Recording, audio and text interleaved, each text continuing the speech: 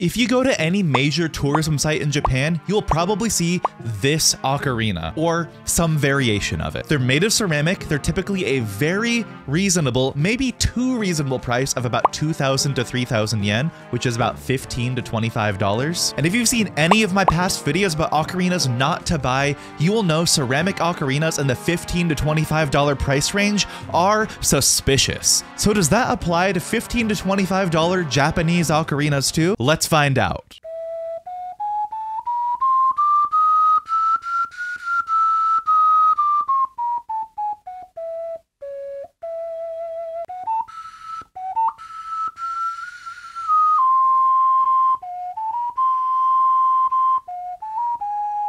Ew.